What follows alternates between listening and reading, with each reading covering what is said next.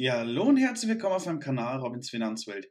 Heute habe ich wieder ein Update zur Palantir-Aktie für euch dabei. Ich gehe kurz und knapp auf die wichtigsten Infos ein und dann schauen wir uns einfach hier die Aktie und das Unternehmen nochmal zusammen an. Und wenn euch mal wieder mein Kanal gefällt, dann lasst doch jetzt gerne ein Abo da, um nichts mehr zu verpassen und natürlich, um mich kostenlos zu unterstützen, würde mich mega freuen an dieser Stelle. Ich würde sagen, wir starten jetzt hier direkt und zwar eben, was hier aktuell los ist und sie wollen jetzt hier ganz klar im Kryptomarkt mitmischen. Das Interesse an sich äh, von Palantir kommt auch nicht von ungefähr, weil Firmengründer Peter Thiel gilt natürlich als ausgesprochener Kryptobulle, also der ist hier sehr, sehr äh, oder macht sich sehr, sehr stark dafür. Äh, man unternimmt jetzt hier einfach Schritte auf dem Kryptomarkt. Die Foundry-Software soll auch das Wachstum vorantreiben ähm, und ähm, auch Bitcoins werden hier in die Bilanz geholt.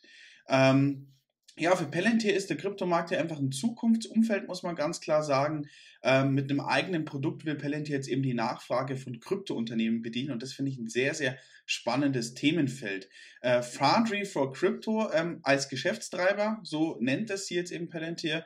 Ähm, also die Software unter dem Namen Foundry soll eben zu einem der Wachstumsfelder hier von Palantir werden und die Plattform soll insbesondere durch Geschäftskunden weiter angetrieben werden. So zumindest hier die Hoffnung von Palantir und im Rahmen der jüngsten Bilanzvorlage ähm, hat man hier auch die Ambition in dem Segment ganz, ganz deutlich gemacht. Die neue Kryptosoftware ähm, wird ein massiver Beschleuniger für Kryptounternehmen sein. So hat es hier der Firmenmanager selber gesagt. Ähm, das heißt, man bietet hier einfach Softwarelösungen für die Kryptounternehmen selber. Ich sage jetzt mal wie Coinbase und Co. Ähm, und man will mit Foundry for Crypto industrialisierte Compliance-Lösungen eben anbieten in dem Bereich. Äh, dabei nutzt man die eigene Expertise im Bereich der Geldwäschebekämpfung und Know Your Customer für potenzielle krypto-exponierte ähm, Kunden eben. Und ähm, genau, so will hier, wie gesagt, Palantir weitermachen. Das Kerngeschäft an sich enttäuscht noch ein bisschen. Ähm, ein Blick in die Bilanz jetzt im dritten Quartal macht eben deutlich, wie wichtig die Kryptopläne und auch das Wachstum für Palantir daraus dann sind.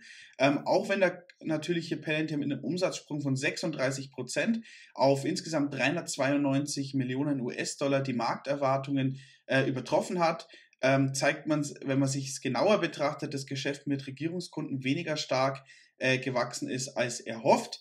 Ähm, aber wie gesagt, man darf auch nicht vergessen, sie wollen den Privatsektor ja auch weiter ausbauen und hier auch diesen, wie gesagt, den Geschäftssektor im Kryptobereich. Und ähm, es ist ja auch, glaube ich, so ein bisschen gewollt, einfach von den Regierungskreisen ein Stückchen zurückzufahren und dieses private oder Geschäftssegment weiter auszubauen. Ähm, das mal so, ähm, wie gesagt, hier einfach die Aussichten. Natürlich hat man hier ambitionierte Wachstumspläne, ihr wisst es.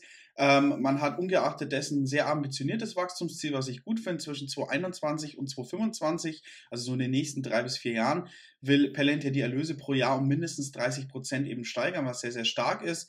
Äh, dabei setzt man eben neben dem Regierungs- und Geschäftskundensegment auf das Kryptogeschäft jetzt ganz neu. Also man hat jetzt eigentlich drei Segmente, Geschäftskunden, Regierungskunden und das Kryptogeschäft. Ähm, maßgeblicher Treiber dürfte natürlich hier der Firmengründer selber Peter Thiel sein, der eben, wie schon gesagt, als Kryptobulle auch gilt.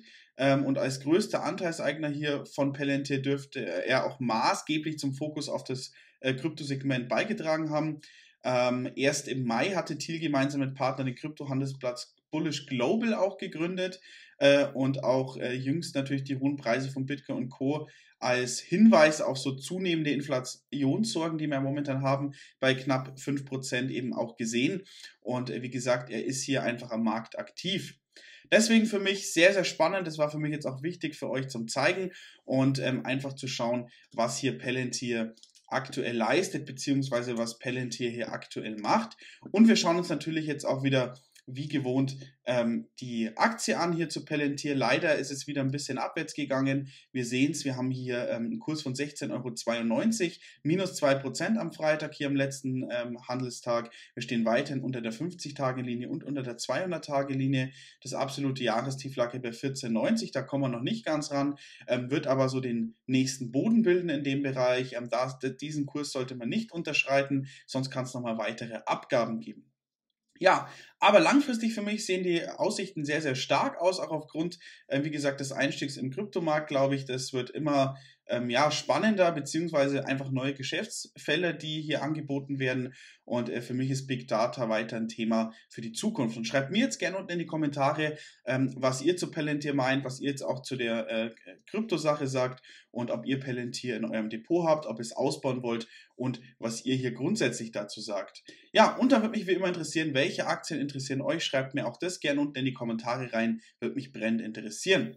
Ja, und das war es jetzt soweit von meiner Seite. Und wenn euch mal wieder mein Kanal gefallen hat, dann lasst doch jetzt gerne ein Abo da, um nichts mehr zu verpassen und um mich kostenlos zu unterstützen, würde mich mega freuen an dieser Stelle. Das war's von meiner Seite. Ich wünsche allen einen schönen Tag, freue mich aufs nächste Video und bis zum nächsten Mal. Ciao.